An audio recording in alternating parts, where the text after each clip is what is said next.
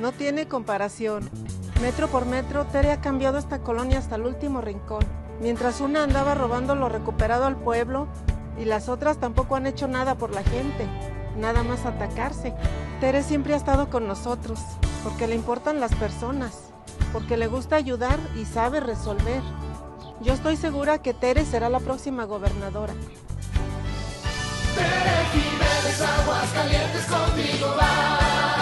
Gobernadora, candidata ganadora, lo que tanto queremos. Coalición va por Aguascalientes.